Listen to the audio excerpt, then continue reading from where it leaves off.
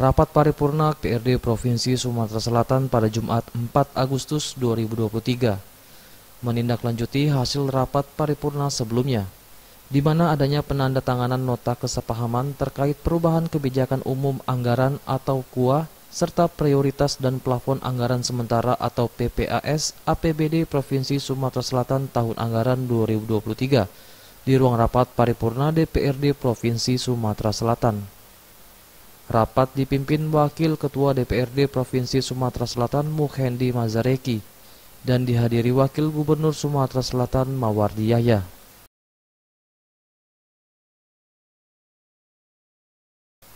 Dalam pandangan umum yang disampaikan perwakilan sembilan fraksi DPRD Provinsi Sumatera Selatan, mayoritas menyambut baik peningkatan raperda perubahan APBD Provinsi Sumatera Selatan yang mengalami peningkatan sebesar 7,90 persen atau 859 miliar 706 juta 947.303 rupiah jika dibandingkan dengan APBD induk tahun anggaran 2023.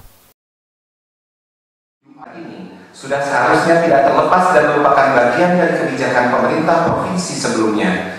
Ada dua prinsip dasar dalam pembahasan perubahan APBD, yaitu sektor pendapatan dan sektor belanja. Prinsip pendapatan yaitu pemerintah daerah mampu menggali sumber-sumber pendapatan daerah secara luas dengan tidak memberatkan masyarakat dan dunia usaha.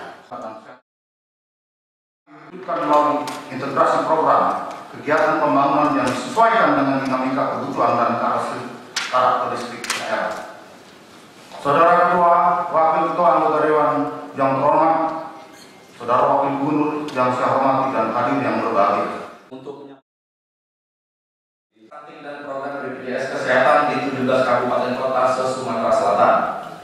Terkait stunting, prevalensi stunting di Sumatera Selatan berdasarkan data studi status gizi Indonesia tahun 2022 turun dari, turun dari 24,8 persen menjadi 18,6 persen atau lebih rendah dari prevalensi nasional sebesar 21,6 persen.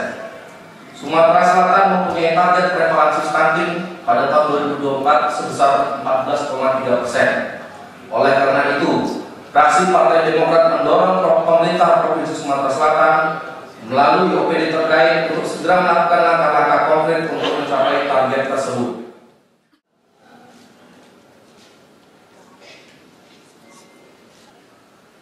Tiga kebijakan pendapatan daerah pada perubahan APBD Sumatera Selatan harus mempertimbangkan berbagai hal seperti realisasi pendapatan daerah sampai dengan semester tahun 2023 hasil penelitian dari pengelolaan BUMD dan lain pendapatan asli daerah yang sah juga menjadi bahan pertimbangan.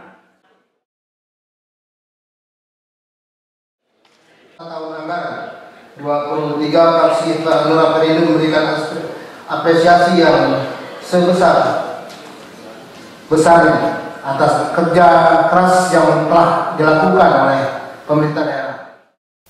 Selain itu, dari kesembilan fraksi juga menyoroti beberapa hal yang masih harus diperhatikan pemerintah Provinsi Sumatera Selatan. Terlebih di sisa masa jabatan gubernur dan wakil gubernur Sumatera Selatan yang akan segera habis. Beberapa hal tersebut di antaranya optimalisasi sumber pendapatan daerah seperti penyerapan pajak kendaraan, masalah kesejahteraan masyarakat seperti berobat gratis, yang diharapkan seluruh kabupaten kota di Sumatera Selatan bisa mendapatkan predikat UHC atau Universal Health Coverage atau jaminan kesehatan gratis yang bisa didapatkan seluruh masyarakat.